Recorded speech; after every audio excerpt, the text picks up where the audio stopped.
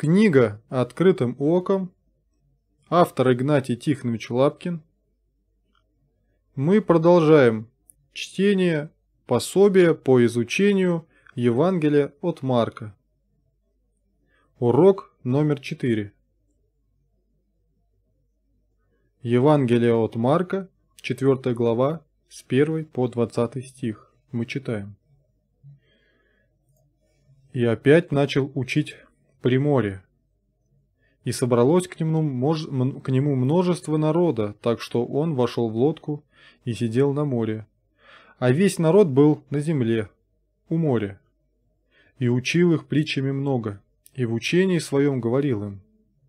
Слушайте, вот вышел сеятель сеять. И когда сеял, случилось, что иное упало при дороге, и налетели птицы и поклевали то, Иное упало на каменистое место, где немного было земли, и скоро взошло, потому что земля была неглубока. Когда же взошло солнце, увяло, и как не имело корня, засохло. Иное упало в терние, и терния выросла, и заглушило семя, и оно не дало плода.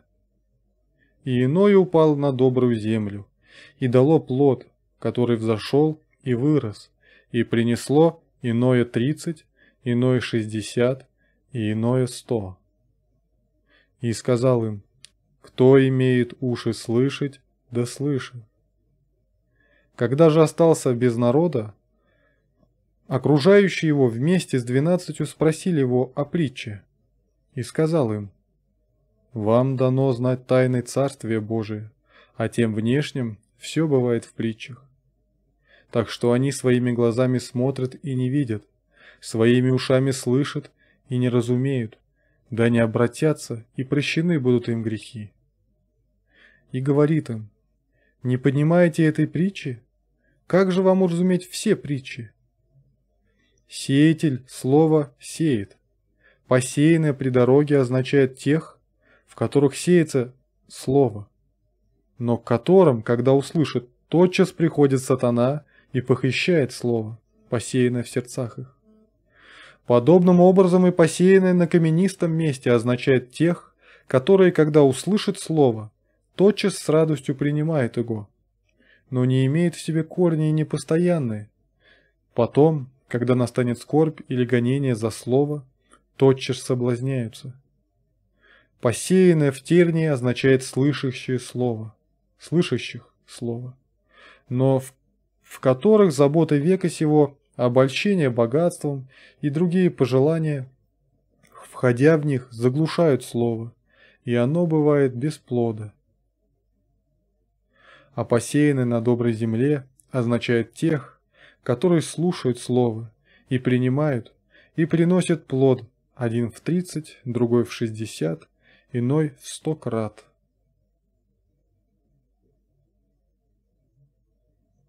Христос любил природу, и самые мелкие предметы и обыденные явления становились темами глубоких, глубоких учений.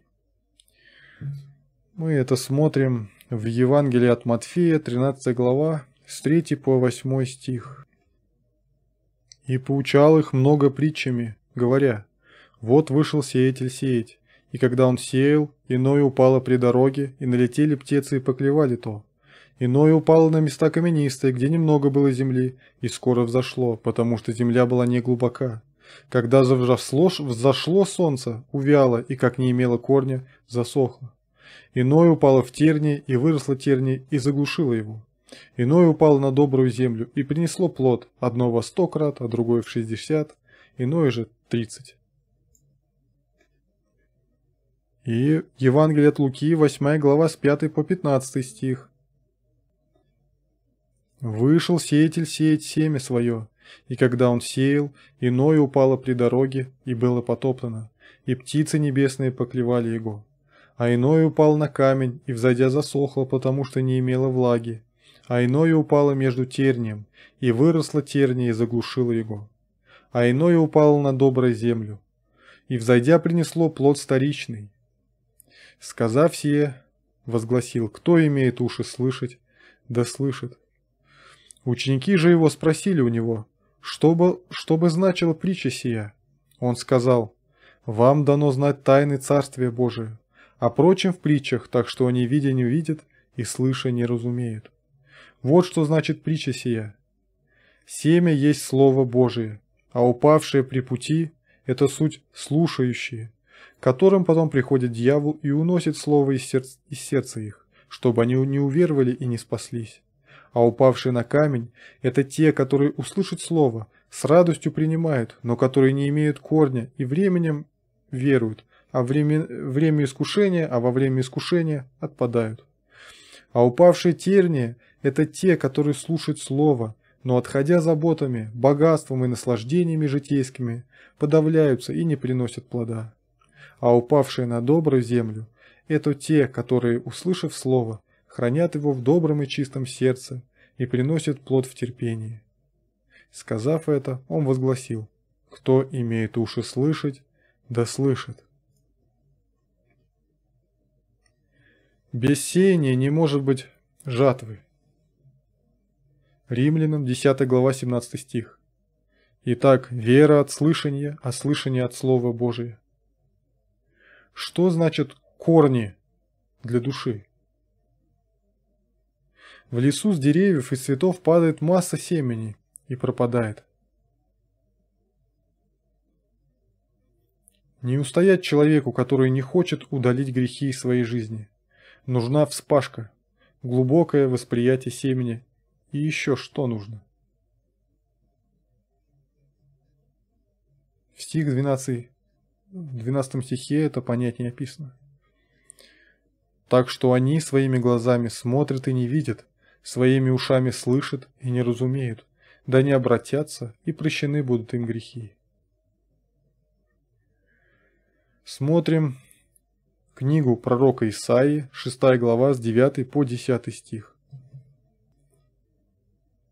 «И сказал он, пойдите и скажи, пойди и скажи этому народу, слухом услышите и не уразумеете, и очами смотреть будете и не увидите.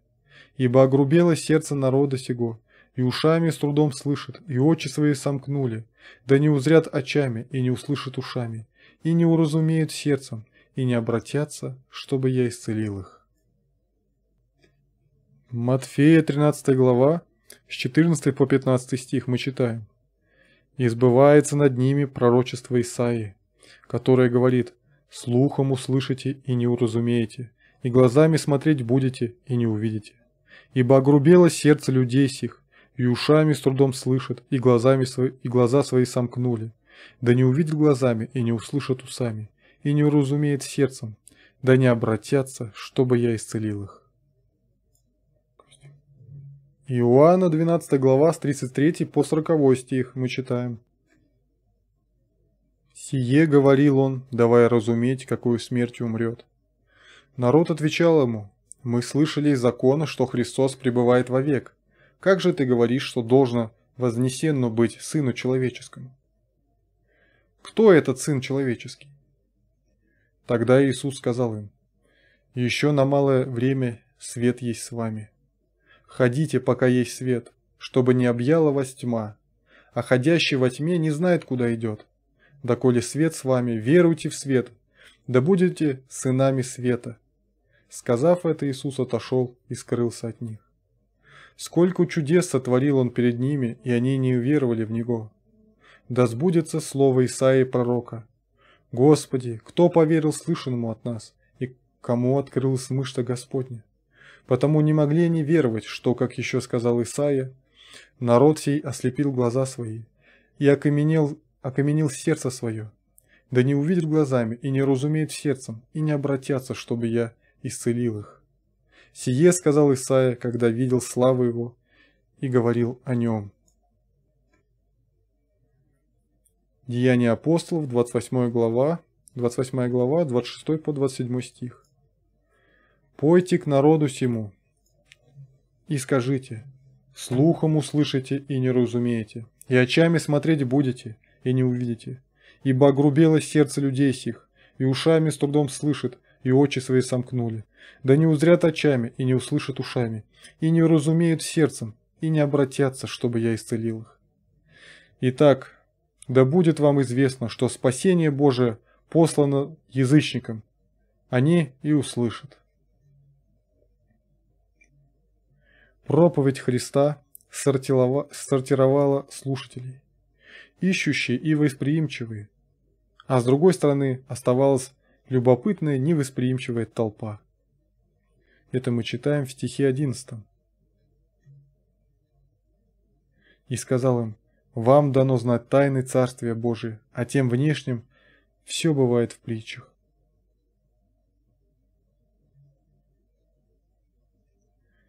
Мы читаем 1 Коринфянам,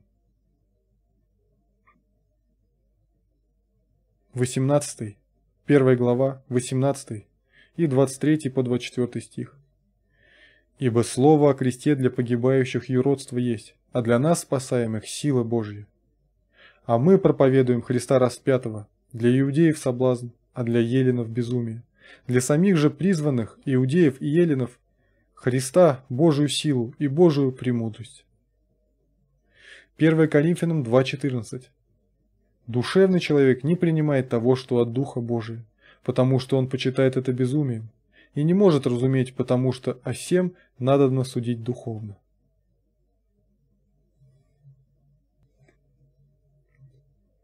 Евангелие от Марка, 4 глава, 21 по 34 стих. Продолжаем.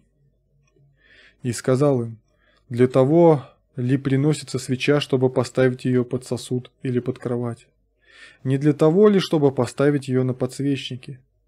Нет ничего тайного, что не сделалось бы явным, и ничего не бывает потаенного, что не вышло бы наружу. Если кто имеет уши слышать, да слышит. И сказал им, замечайте, что слышите. Какую меру умерите, такое отмерено будет вам, и прибавлено будет вам слушающим. Ибо кто имеет, тому дано будет, а кто не имеет, у того отнимется и то, что имеет. И сказал, Царствие Божие подобно тому, как как если человек бросит семя в землю, и спит, и восстает ночью днем, и как семя восходит и растет, не знает он. Ибо земля сама собой производит сперва зелень, потом колос, потом полный зерно в колосе. Когда же созреет плод, немедленно посылает серп, потому что настала жатва. И сказал, чему уподобим Царствие Божие? Или какую притчу изобразим его? Оно как зерно горчичное, которое, когда сеется в землю, есть меньше всех землян на земле, а когда посеяно, восходит и становится больше всех злаков, и пускает большие ветви, так что под тенью ее могут укрываться птицы небесные. И так, таковых многими, таковыми многими притчами проповедовал им слово, сколько они могли слышать. Без притчи же не говорил им, а ученикам наедине изъяснял все. Слушать и сообщать другим, несоблюдение этого принципа влечет за собой потерю всего полученного благословения. Стих 25. Ибо кто имеет, тому дано будет, а кто не имеет, у того отнимется и то, что имеет. Нельзя вырывать тексты Священного Писания без связи с другими текстами, обобщать их значение и тем искажать их смысл. Долг сеятеля – сеять доброе, не испорченное семя. 2 Коринфянам, 2 глава, 17 стих. «Ибо мы не повреждаем Слово Божие, как многие, но проповедуем искренне, как от Бога, перед Богом во Христе». Не сразу духовно оживший человек становится зрелым христианином. Нужно иметь терпение с собой и с другими. 1 Коринфянам, 3 глава, 6 стих. «Я насадил, Аполлос поливал, но возрастил Бог. Филиппийцам 1.6. Будучи уверен в том, что начавший вас доброе, начавший вас доброе дело будет совершать его даже до дня Иисуса Христа. Напрасно мы падаем духом, если не видим в себе или других желанного роста. Иакова 5.7. Итак, братья, будьте долготерпеливы до пришествия Господа. Вот земледелец ждет драгоценного плода от земли, и для него терпит долго, пока получит дождь, ранний и поздний. Прежде, нежели взойдет колос, должно произойти нечто весьма необходимое семенем под, зем под землею. Прежде, нежели взойдет колос, должно произойти нечто весьма необходимое семенем под землею. Начало христианства и гонения – это горчичное зернышко. Христос соразмерял свои проповеди с пониманием и вместимостью слушателей. Евангелие от Иоанна, 16 глава, 12 стих.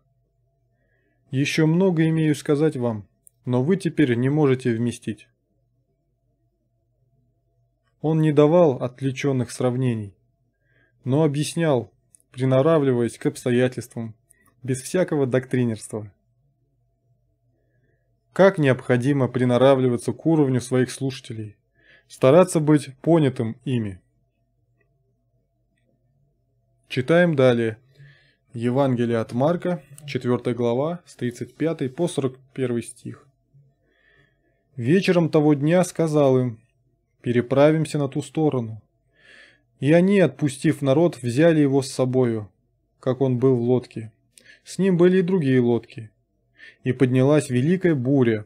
Волны били в лодку так, что она уже наполнялась водою, а он спал на корме на возглавии. Его будет и говорят ему, «Учитель, неужели тебе нет нужды нет, что мы погибаем?» И встав, он запретил ветру и сказал морю, «Умолкни, перестань».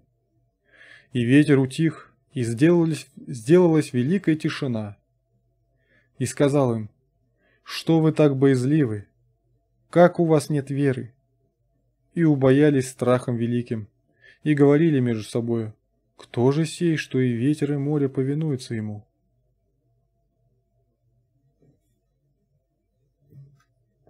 Смотрим Матфея, 8 глава, 23 стих. И когда зашел он в лодку, вошел он в лодку, за ним последовали ученики его. И вот сделалось великое волнение на море, так что лодка покрывалась волнами, а он спал. Тогда ученики его, подойдя к нему, разбудили его и сказали, «Господи, спаси нас, погибаем!» И говорит им, «Что вы так боязливы, маловерные?» Потом, встав, запретил ветрам и морю, и сделалась великая тишина. Люди же, удивляясь, говорили, «Кто это, что и ветры, и море повинуются ему?» Также у евангелиста Луки, 8 глава, 22 стих. Читаем. В один день он вошел с учениками своими в лодку и сказал им, «Переправимся на ту сторону озера». И отправились. Во время плавания их он заснул. На озере поднялся бурный ветер и заливал их волнами, и они были в опасности. И, подойдя, разбудили его и сказали, «Наставник, наставник, погибаем». Но он, встав, запретил ветру и волнению воды, и перестали, и сделалась тишина. Тогда он сказал им, «Где вера ваша?»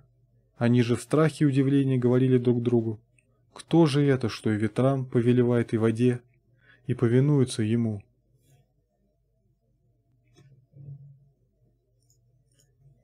Галилейское море лежит на 200 20 метрах ниже уровня Средиземного моря и известно своими внезапными шквалами, стремительно налетающими с холмов. Мы это читаем Евангелие от Луки, 8 глава, 23 стих. Во время плавания их он заснул. На озере поднялся бурный ветер и заливал их волнами, и они были в опасности. По крайней мере, четверо были опытные рыбаки, но и они растерялись. Никакие технические приемы не помогают, еще несколько минут, и лодка пойдет ко дну. Среди этой бури Христос, утомившись от, раб от работы, спокойно спит на скамейке, на корме лодки. Боязнь и вера, по его словам, несовместимы. Где одно начинается, там кончается другое. Христианин никогда не должен бояться. Бояться всегда грешно. Римлянам 14 глава 23 стих. И сомневающийся, а сомневающийся, если ест, осуждается, потому что не по вере, а все, что не по вере, грех. 1 Иоанна 4,18 В любви нет страха, но совершенная любовь изгоняет страх, потому что в страхе есть мучение, боящийся несовершенен в любви. Римлянам 8 глава 28, 38, 39 стих. Притом знаем, что любящим Бога, призванным по Его изволению, все содействует ко благу. Ибо я уверен, что ни смерть, ни жизнь, ни ангелы, ни начало, ни силы, ни настоящее, ни будущее, ни высота, ни глубина, ни другая какая тварь не может отлучить нас от любви Божией во Христе Иисусе, Господе нашим. Близость Христа не избавляет от возможности бурь и опасностей. 2 Коринфянам, 11 глава, 23 и 31 стих. Христовы служители, в безумии говорю, я больше. Я гораздо более был в трудах, безмерно в ранах, более в темницах и многократно при смерти. Бог и Отец Господа нашего Иисуса Христа, благословенный вовеки, знает, что я не лгу. Тяжелое испытание научает полнее доверяться Ему. Псалом, 22, 22 Псалом, с 1 по 4 стих. Господь пастырь мой, я ни в чем не буду нуждаться. Он покоит меня на злачных пажитях и вводит меня к водам тихим, подкрепляет душу мою, направляет меня на стези правды ради имени своего. Если я пойду и долину смертной тени, не убоюсь зла, потому что ты со мною, твой жезл и твой посох. Они успокаивают меня. Читаем Евреям, 13 глава, с 5 по 8 стих. «Имейте нрав не, сролю... не сребролюбивый, довольствуйтесь тем, что есть, ибо сам сказал, не оставлю тебя и не покину тебя. Так что мы смело, так что мы смело говорим, Господь мне помощник, и не убоюсь, что сделает мне человек? Поминайте наставников ваших, которые проповедовали вам Слово Божие, и, взирая на кончины их жизни, подражайте вере их. Иисус Христос вчера и сегодня и вовеки тот же. Он может усмирить и бури внутри человека. Читаем далее. Евангелие от Марка, 5 глава, с 1 по 20 стих. «И пришли на другой берег моря в страну Гадаринскую, и когда вышел он из лодки, тотчас встретил его вышедший из гробов человек, одержимый нечистым духом. Он имел жилище во гробах, и никто не мог его связать, даже цепями, потому что многократно был он скован оковами и цепями, но разрывал цепи и разбивал оковы, и никто не в силах был укротить его. Всегда ночью и днем, в горах и в гробах, кричал он и бился о камни. Увидев же Иисуса издалека, прибежал и поклонился ему. И, вскричав громким голосом, сказал, «Что тебе до меня, Иисус, Сын Бога Всевышнего? Заклинаю тебя Богом, не мучь меня». Ибо Иисус сказал ему, «Выйди, дух нечистый из сего человека». И спросил его, «Как тебе имя?» И он сказал в ответ, «Легион имя мне, потому что нас много». И много просили его, чтобы не, выс... не высылал их вон из страны той. Паслось же там при горе большое стадо свиней. И просили его все бесы, говоря, «Пошли на свиней, чтобы нам войти в них». И Иисус тотчас позволил им. И нечистые дуги, духи, выйдя, вошли в свиней, и устремилось стадо с в море, а их было около двух тысяч, и потонули в море.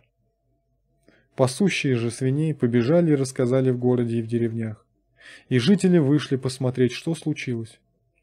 Приходят к Иисусу и видят, что бесновавшийся, в котором был легион, сидит и одет, и в здравом уме, и устрашились. Видевшие рассказывали им о том, как это произошло с бесноватым и о свиньях. И начали просить его, чтобы отошел от пределов их. И когда он вошел в лодку, бесновавшийся просил его, чтобы быть с ним. Но Иисус не дозволил ему и сказал, «Иди домой к своим и расскажи им, что сотворил с тобой Господь, и как помиловал тебя». И пошел и начал проповедовать в Десятиградии, что сотворил с ним Иисус. И все дивились. Также смотрим у других евангелистов. Евангелие от Матфея, 8 глава, с 28 по 34 стих. И когда он прибыл на другой берег в страну Гергесинскую, его встретили два бесноватых, вышедшие из гробов, весьма свирепые, так что никто не смел проходить тем путем. И вот они закричали, «Что тебе до нас, Иисус, Сын Божий? Пришел ты сюда прежде времени мучить нас. Вдали же от них паслось большое стадо свиней. И бесы просили его, если выгодишь наш, то пошли нас стадо свиней. И он сказал им, идите. И они, выйдя, пошли в стадо свиное. И вот все стадо свиней бросилось с крутизны в море и погибло в воде. Пастухи же побежали и, придя в город, рассказали обо всем и о том, что было с бесноватыми. И вот здесь весь город вышел навстречу Иисусу и увидел его. Просили, чтобы, просили, чтобы он отошел от пределов их.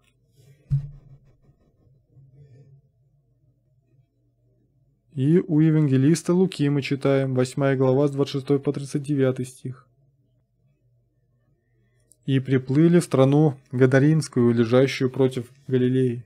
Когда же вышел он на берег, встретил его один человек из города, одержимый бесами, с давнего времени, и в одежду не одевавшийся, и живший не в доме, а в гробах.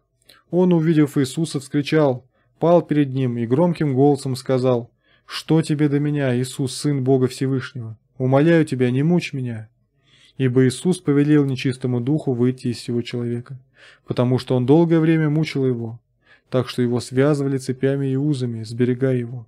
Но он разрывал узы и был гоним бесом в пустыне. Иисус спросил его, «Как тебе имя?» Он сказал, «Легион», потому что много бесов вошло в него. И они просили Иисуса, чтобы не повелел им идти в бездну. Тут же на горе паслось большое стадо свиней, и бесы просили его, чтобы позволил им войти в них. Он позволил им. Бесы, выйдя из человека, вошли в свиней и бросили стадо с крутизны в озеро и потонуло. Пастухи, видя пришедшее, побежали и рассказали в городе и в селениях. И вышли видеть пришедшее, и, придя к Иисусу, нашли человека, из которого вышли бесы, сидящего ног Иисуса, одетого и в здравом уме, и ужаснулись. Видевшие же рассказали им, как исцелился бесновавшийся. И просили его весь народ Гадаринский, Гадаринской окрестности удалиться от них, потому что они были объяты великим страхом. Он вошел в лодку и возвратился.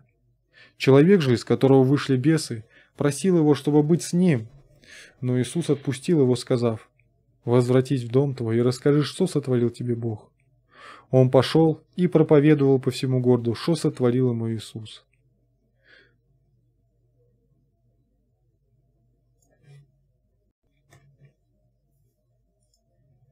В древнее время все случаи эпилепсии и психического расстройства приписывали духовным причинам. Какое мучительное состояние бесноватого! Как бесполезны все внешние человеческие средства, когда недуг внутреннего духовного свойства. Христос позволил бесам войти в свиней. Может быть потому, что доказать, чтобы доказать, что это не был случай психического расстройства, но действительно бесноватости. А может, для гадаринских жителей, чтобы их разбудить духовно. Некоторые люди только тогда пробуждаются, когда их бьешь по карману. Даже внешность переменилась, когда переменился дух. Как бесполезна внешняя реформа, пока внутренний человек остается прежним. Матвея 7, 7 глава 18 стих. Не может дерево доброе приносить плоды худые, не дерево худое приносить плоды добрые. Матфея 12 глава 33-35 стих. Или признайте дерево хорошим и плод его хорошим, или признайте дерево худым и плод его худым, ибо дерево познается по плоду. Добрый человек из доброго сокровища выносит доброе, а злой человек из злого сокровища выносит злое. 27 глава, 25 стих. И отвечая, весь народ сказал, кровь его на нас и на детях наших. Послание Иакова, 3 глава, 12 стих. Не может, братья мои, смоковница приносить маслины или виноградная лоза смоквы, также и один источник не может изливать соленую и сладкую воду. Иоанна 8 глава 36 стих. Итак, если Сын освободит вас, то истинно свободны будете. Личное устное свидетельство, подтверждаемое жизнью человека, есть самый сильный довод и убедительный вид проповеди. Последнему, вероятно, показалось труднее всего свидетельствовать о Христе дома.